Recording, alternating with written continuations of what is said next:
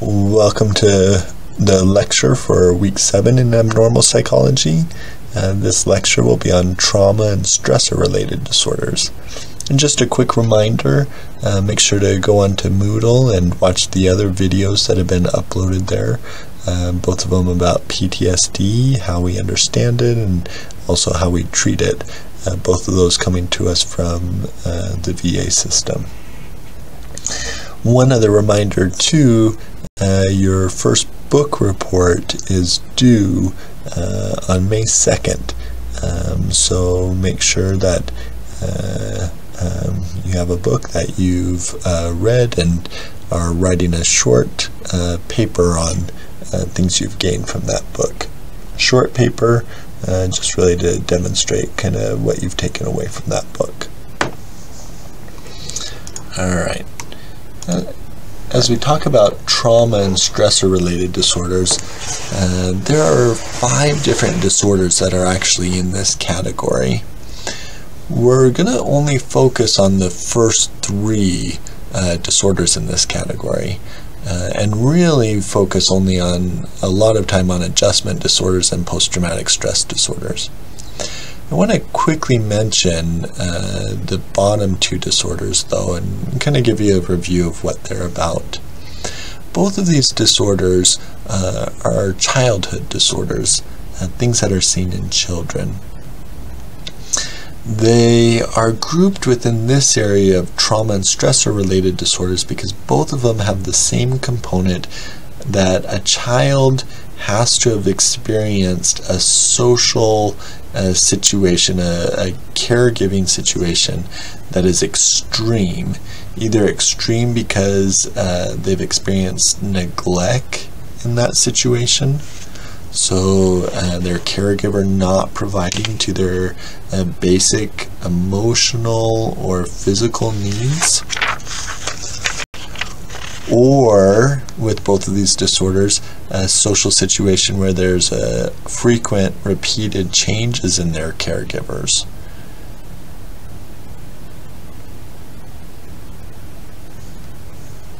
In addition to having these caregiver situations that are characterized by changes or neglect, um, they have to have a, some type of response to it. And that's where these two disorders differs in how they respond to it. So the first one, reactive attachment disorder. This is when the child, because of those either changes or neglect in their caregiving environment, they uh, fail to seek out any type of caregiving from adults. They're inhibited or withdrawn from that. Um, and so the child rarely or minimally ever seeks out comfort uh, when they're distressed or if comfort is provided to them from their caregiver or any other adult, they rarely ever respond to that comfort. And they have a lack of kind of uh, minimal social, social or emotional responses to others in general, and really a lack of kind of positive emotions uh, that are displayed. At times, though, they will have unexplained kind of irritability or sadness or fearfulness, uh, even when they're not in a threatening situation. And it makes sense for this disorder. Here, the caregivers are a source of kind of abuse or neglect or changing, and so the child really fails to uh, see others as being able to comfort them and meet their emotional needs. And so as a result, they don't turn to others or they don't respond to others when that comfort is provided. Um, and they, uh, when the caregivers are kind of seen as uh, the kind of they should be seen as the stability in a child's world. If a child doesn't have that stability there, uh, in general, the world can seem more chaotic. Uh, and so that's why we see kind of the ups and downs with irritability or sadness or uh, fearfulness, even when the situation kind of doesn't warrant it. So the second one, again, we have the same kind of criteria that there has to be some type of social neglect, uh, or changes in caregivers, some type of problem there. But this one, uh, for this disorder, rather than withdrawing, the children are overly involved uh, with caregivers. And it's not with just with their their particular care caregivers, but they get overly involved, overly engaged with any adults. So they have no worry, no fear about approaching new adults, unfamiliar adults. Uh, they get overly familiar in terms of verbal or physical behavior uh, uh, with any adults. Um, and they don't ever look back to their caregivers, you know, when engaging with new adults to uh, check to make sure that they're safe or check to see. Uh, but they're just willing to go off with any unfamiliar adult with no hesitation at all. And again, this it, it can't be, it has to be out of line with kind of their developmental level and out of line with cultural norms. Some cultures, more adults are involved in the caregiving, and so there would be less hesitancy there. But um, uh, yeah, with this one, we see that when they should be afraid of others or they should be hesitant, they're not hesitant at all. And again, both of these tied back to the caregiving situation. Caregivers are uh, either neglectful, so the child learns that uh, they can't trust those caregivers or uh, they shouldn't trust them and so they either don't trust anyone else or they overly trust everyone else. Okay. For the rest of the time though today we're going to like I said focus on the three other disorders here which are more common seen in adults. And similar to the other lectures that we've done talking about the what, why, and the how for those disorders. So let's start with adjustment disorder. So adjustment disorder used to be in its own category.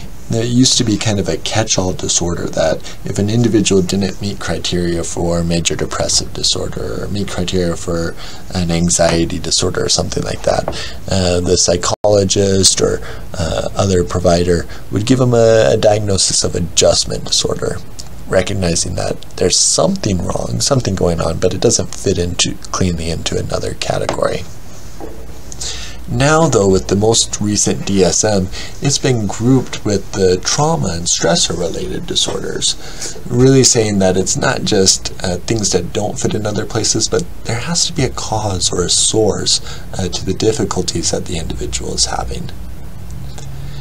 And so, uh, for this disorder, the individual develops emotional or behavioral symptoms uh, in response to an identifiable stressor. So these symptoms have to start or begin within onset, uh, within three months of when the stressor began. And it doesn't say exactly what the emotional or behavioral symptoms are. Uh, it could be depression, it could be anxiety, it could be other responses, but there has to be something uh, that's impairing or causing problems uh, uh with their responses. So it could be impairing it because it's the distress is out of proportion to what the stressor uh, should be uh, the response to the stressor should be, or it causes impairment in some areas of their functioning.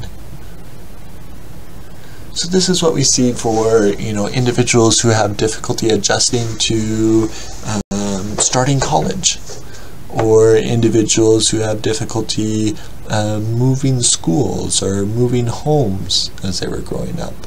Uh, or when there's a divorce and children have difficulty adjusting or transitioning to that. Typically, this disorder, uh, once the stressor is over, if it's not an ongoing stressor, uh, it kind of alleviates itself within a six month period. It could last longer, but typically uh, it's over within that kind of time range. And it's important here that it can't meet criteria for another disorder. So if an individual, uh, say, uh, gets fired from a job, and at first that individual is kind of having difficulty coping with that, having a hard time kind of figuring it out and figuring out their purpose in life after that. If at any point it turns into depression and the individual meets criteria for a full depressive episode, it's no longer adjustment disorder. Now that individual has major depressive disorder. So, like I mentioned, uh, the picture of the behaviors and emotions can fit with other categories. Most common, it fits with depression, and we can specify that it's with depressed mood, or anxiety, or a mixture of two, the two.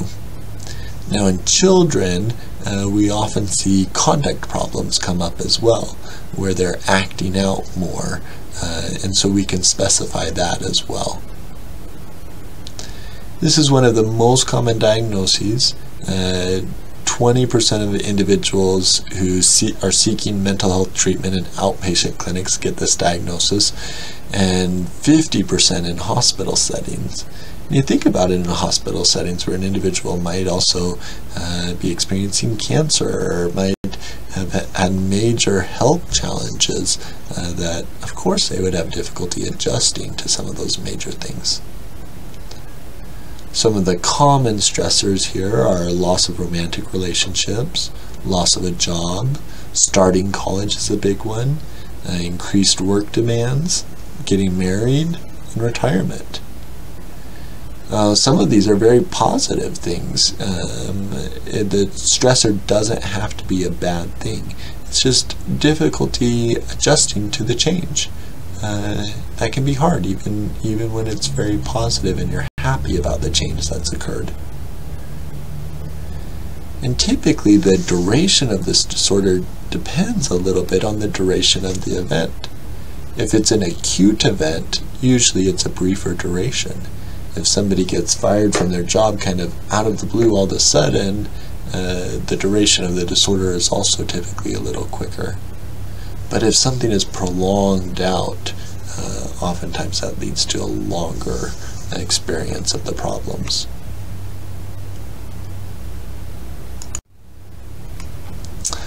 We often think about adjustment disorder just in terms of coping resources uh, compared to stressors. So all of us have certain coping resources that are typically effective in our lives, um, but when we face some type of extra stressor or several extra stressors or a huge stressor, that our coping skills, uh, we may find that they don't, they're not uh, adequate to meet those stressors. And so uh, we have then difficulty then adjusting to them. And oftentimes this difficulty, initial difficulty adjusting can lead to experiences of demoralization, kind of a loss of hope, uh, kind of giving your hands up and uh, being unreally sure what direction to move forward in. So that really ties into the treatment then. Uh, the kind of best or one of the simplest treatments for an adjustment disorder is solution focused therapy. Remember, I said the individual has coping strategies, but they find that they're just not meeting uh, the stressors or the problems that they're asked to face now. So the idea with solution focused therapy is just to get the individual to use the resources that they already have uh, to face their new problems. Either helping them figuring out how they would apply to the new problems or just reminding them again of, of what resources they have available to them. Solution focused therapy focuses a lot on the strengths rather than the problems and uh, what people do and what they can do rather than an illness uh, that they might have. So a couple simple stages, usually solution-focused therapy is done in just one or two sessions. The beginning question is uh, uh, a kind of a brainstorming uh, segment of the session where the individual starts to think about uh, their resources again. And a few ways that you get the individual to think about it is uh, one, something they call the miracle question. So if all of a sudden the problem was taken away, or if they had complete control, you know, they had a grasp on this problem, this challenge that they're facing, and they were to see themselves, what would they be doing that would show that they have the grasp on it? And then uh, they'll give ideas of what it would look like for them. Again, focused on their behavior uh, and having them talk about that. The second way in getting them to think about this is the scaling question. With any kind of problems, uh, the individual is going to have fluctuation in how they're doing handling it. And so you have them think about times when they're handling it well compared to times when they're not handling it so well. And just think about well what's the difference? What are they actually doing different? Not how is the problem different or what others around them are doing different but what are they actually doing different when they're handling it better? And then finally is search for exceptions. Uh, the problem and their difficulty with those problems uh, is not a ongoing always been there always will be there type thing so you have them think about a past time when they were coping with relatively well with the stressor, or a time when they uh, seem to be having no problems with this stressor at all, and ask them what were they doing during those times. For all of these questions, you're focused on them, the individual, and what they were doing. And once you get an idea of that, then you move on to the second stage of assigning tasks. And those tasks are do more of it, do more of the things that they were doing in the past that worked well, or spend some time and figure out how to do it. Uh, talk with others who are doing it well, or um, uh, do some research, you know, uh, study it out, but just make a plan for something that they want to try. And then finally, as they get that plan down, uh, doing a small piece of it at a time don't have them tackle the whole thing all at once, but a small piece and get success in doing that, and then you can move on to the next small piece and so on. The final kind of stage in this is just a follow up. Like I said, this is one, two, three sessions maybe.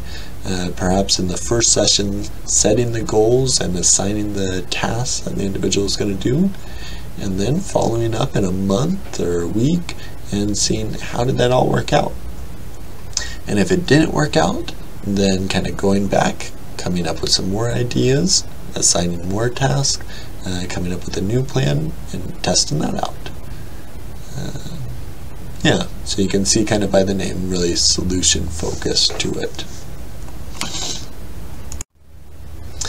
Now, solution focused therapy is, is great when we're talking about something like adjustment disorders, where uh, the individual has a lot of coping skills and a lot of resources available to them. They just don't know how to apply it to the situation. But solution focused therapy does fall short for uh, other disorders where it's, it's not necessarily um, uh, as easy of a solution. Post traumatic stress disorder would be one of those other disorders. So post-traumatic stress disorder is actually a very complicated disorder uh, with several different criteria to it. So we're going to break this down over the next few slides, uh, uh, the various criteria uh, for, for this disorder. The first criteria has to do with an event that's happened. So for post-traumatic stress disorder, the individual has to have been ex uh, exposed to an event where they were threatened in some way. That threatened could be death, they could have possibly died or thought they could have possibly died, or serious injury. Um, it could also be sexual violence, or finally, uh, some uh, threat to their identity, who they are as an individual. And that might be directly experiencing the event themselves, or it could be witnessing the event occurring to others, or learning about the event occurring to close family members or close friends, or finally, it could be ex uh, experiencing repeated exposure to the verse details of the event of others. This is what we often see with kind of first responders, uh, police officers, firefighters, even psychologists, where they repeatedly see others exposed to traumatic events or uh, things happening or hear about it, uh, hear the stories of it, and that can cause the PTSD for, for themselves. Okay, so that's the first set. The second set uh, is after the exposure to the event, what has to happen? And here with criteria B, we're talking about intrusive symptoms related to the traumatic events. So things that start to happen once the individual is safe, but it feels like the symptoms and the things are happening over and over again to them. And so it could be the memories that keep on coming back to them and they can't they can't get rid of them. They can't think about other things, but they just keep coming back. Could be through dreams. It could also be through kind of uh, flashbacks where the individual uh, isn't just having a memory, but feels like uh, they're in the the events occurring again. They're in that situation again. Or it could be just intense distress when they're exposed to cues of the event. So maybe it's sounds, maybe it's sights, maybe it smells, something that reminds them of the trauma that they were exposed to. And in addition to the distress, a psych physiological reaction, um, the nervousness and how that shows up in their body associated with uh, those cues of the event. Third area, criteria area, criteria C, is avoidance. So they have the event, and then they have intrusions where lots of these feelings, emotions, memories, flashbacks are coming back to them over and over. And then in this category, they start to avoid any of those uh, things that would cause more distress or flashbacks, things like that. So they try to avoid the memories, they try to avoid the thoughts, they try to avoid the feelings all associated with that trauma. Or they try to avoid the situations associated with the trauma. So people, places, objects, activities, anything that would serve as a cue uh, to remind them of that trauma.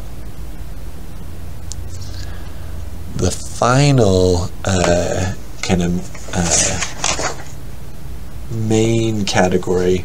Um, sorry, two others with this, but uh, so one other one is the negative alterations in their thoughts and moods.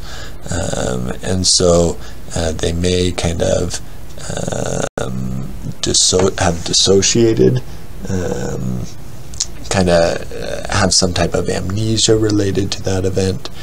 They may develop these negative thoughts or beliefs about self and others related to the events, uh, or have beliefs about why the event happened to them uh, that are uh, not accurate, that are distorted out of reality. And they feel kind of because of all these things, uh, they don't want to engage in the world as much with others or activities or anything uh, positive they try to avoid. Okay, then the final kind of main category is uh, uh, changes their arousal or their reactivity physically uh, and how they respond to situations. And so typically with PTSD, we'll see increased kind of irritability, anger outbursts, maybe reckless behavior, uh, we often see hypervigilance, kind of watching out, seeing if the trauma could happen again.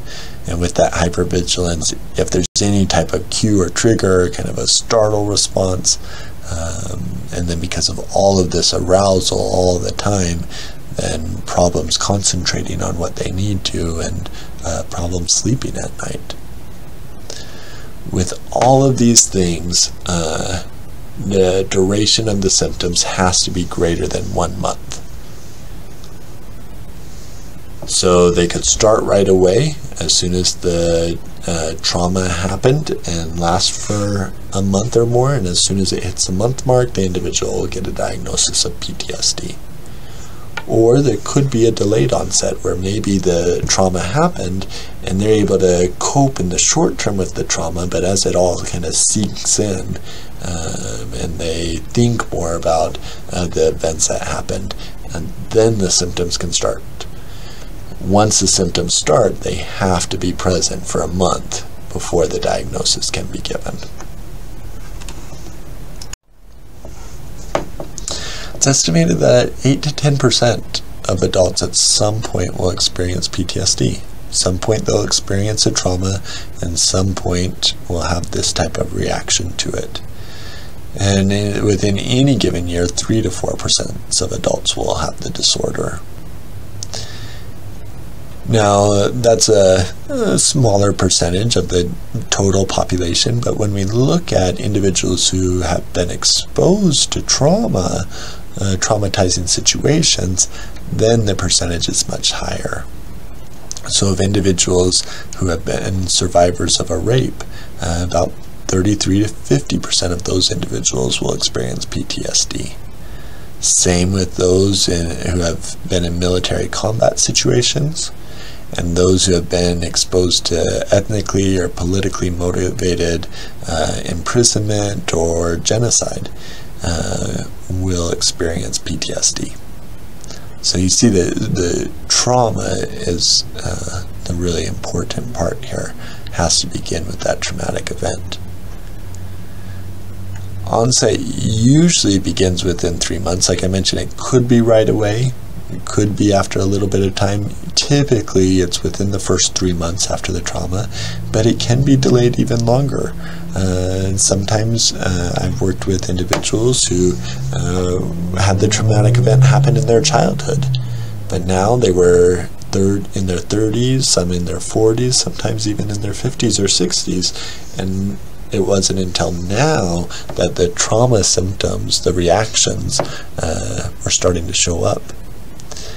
And typically, it's associated with a re- uh, reemergence of the cues the threatening things um, from their childhood.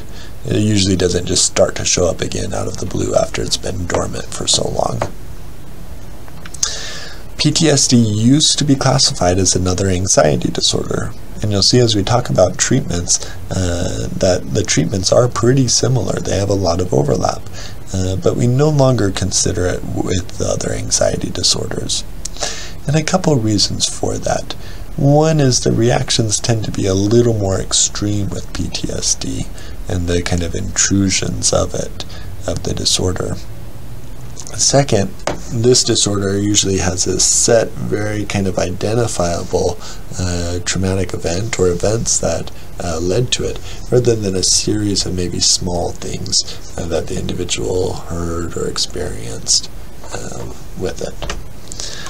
Last, uh, it's such a common disorder, and, and we know so much about it that um, we know enough to kind of put it by itself and, and look at it uh, in more detail uh, alone. So there's several different evidence-based treatments for PTSD. The most common of the evidence-based treatments fall within the category of cognitive behavioral treatments. Uh, one cognitive behavioral treatment, and all of these cognitive behavioral treatments uh, uh, work on the principles that we've already talked about with co cognitive behavioral therapies, uh, the exposure principles as well as the uh, cognitive uh, processing the thoughts, um, but they just do it to different degrees. So the first one, prolonged exposure, works primarily on the behavioral component, the exposures. And for prolonged exposure, you have uh, the individual uh, uh, over and over again uh, be exposed to the event. And this often uh, is through imaginal exposures where they're simply talking about the event and they're sharing over and over again what happened and then eventually into actual exposures of the cues. They're going back into the situation um, uh, where the event happened, the traumatic event, or other cues that, that might be present. Now, this is a treatment that uh, you need to exercise extreme caution with. That if the individual is exposed to the uh, event in um, not the right way, then it can uh, worsen the PTSD. And so important that only uh, qualified individuals who have training in providing this, this, this treatment uh, really do it with, with clients who are seeking to overcome the disorder.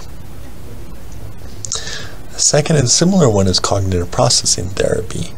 This one also works off exposure, um, but focusing on talking through the disorder, so more of the imaginal exposure, talking through kind of the event over and over again. But as they do so, challenging the beliefs about why the trauma occurred and the meaning it now has for the client. Um, and really throwing in the heavier kind of cognitive piece. There's also a, a present-centered therapy for this. Um, with present-centered therapy, using some of the same things, same principles, except you're not really talking about the past at all. So clients often like this one because they don't have to relive the trauma, but instead it's just simply focusing on the current symptoms uh, and what's going on, and helping them uh, find coping mechanisms for those current symptoms. And then finally, the last one is stress inoculation training.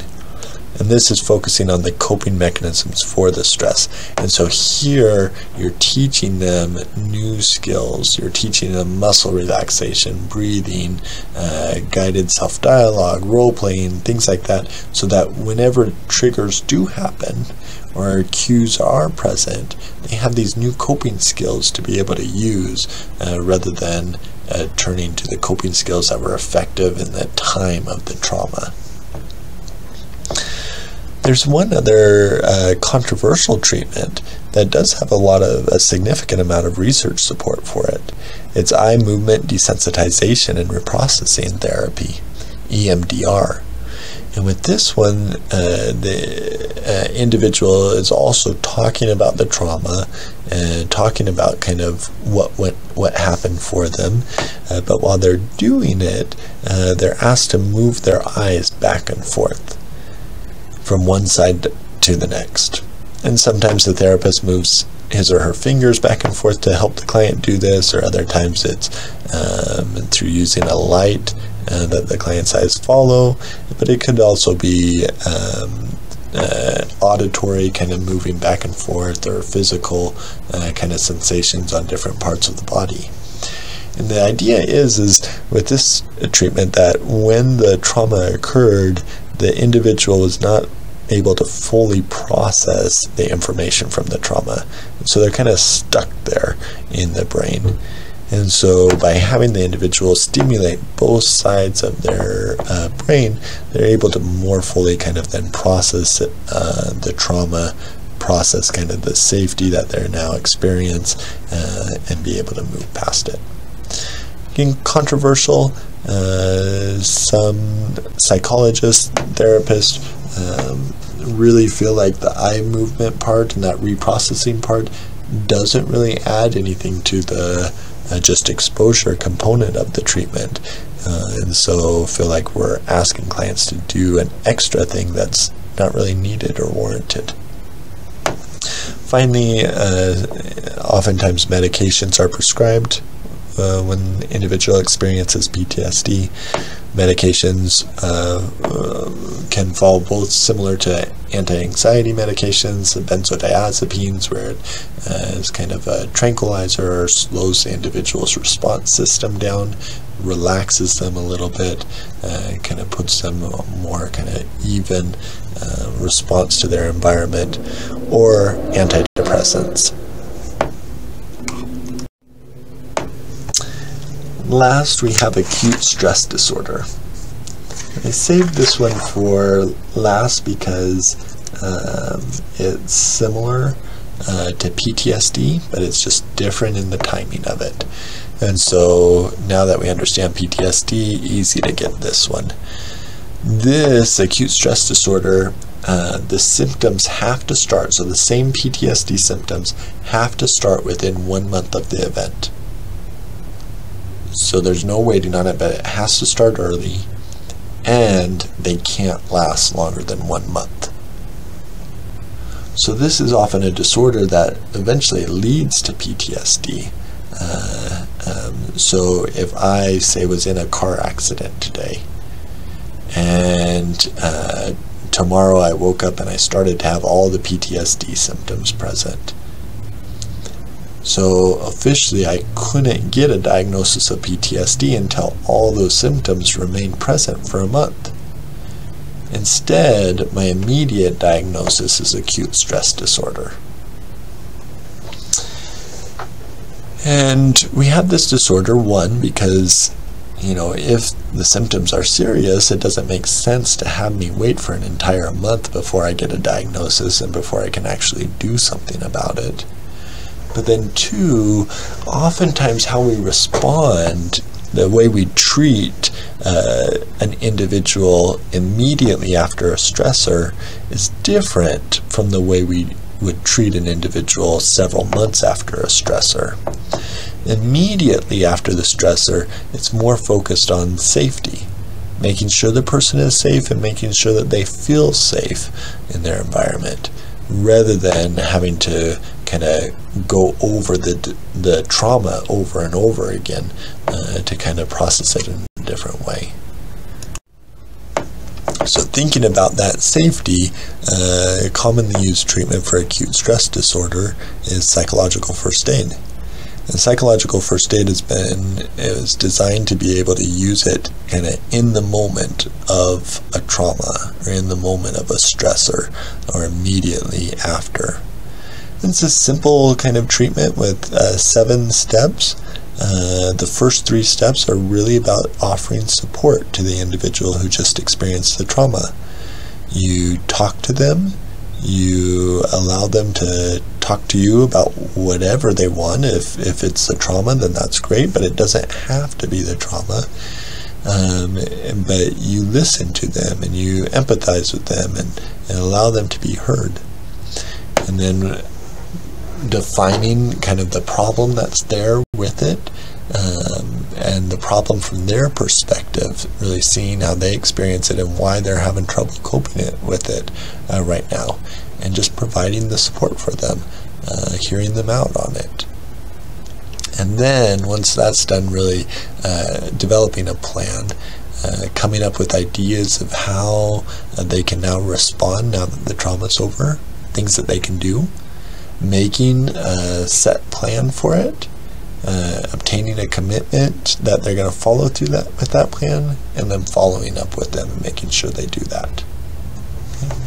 So again, much more focused on kind of the immediate, what do I do right now, rather than fully kind of processing the the trauma that occurred, and the treatments for PTSD more fully uh, processing what happened and and disconnecting kind of the reactions that they're having from uh, the cues of, of the trauma.